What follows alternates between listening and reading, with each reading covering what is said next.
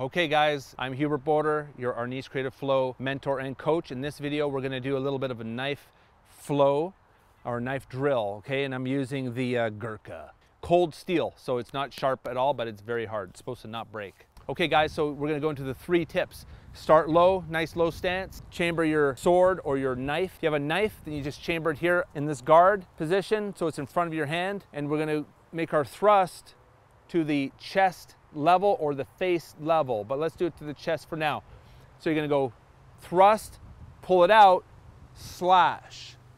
Thrust low to the abdomen, pull it out, horizontal cut. Thrust again, pull it out, horizontal cut. Thrust high, pull it out, diagonal slash. Okay, so we go one, pull it out, slash. Two, pull it out, horizontal cut. Three, horizontal cut four, pull it out, diagonal. So go one, two, three, four, and we'll let's add a five.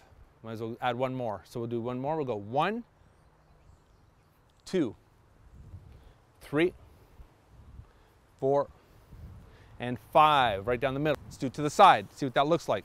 We're going to go one, two, three, four, and five. So we go one, two, three, four, and five. So we go one, two, three, four, five. Back to the middle. We go one, two, three, four, and five. One, two, three, four, and five. So there you have it for this lesson. It's a little bit of a thrust, slash, or also known as saksak and slash, thrust and slash. I'm Hubert Boorder. I hope you liked this video. If you do, please hit subscribe, give me a thumbs up, leave a comment, and see you on the next one.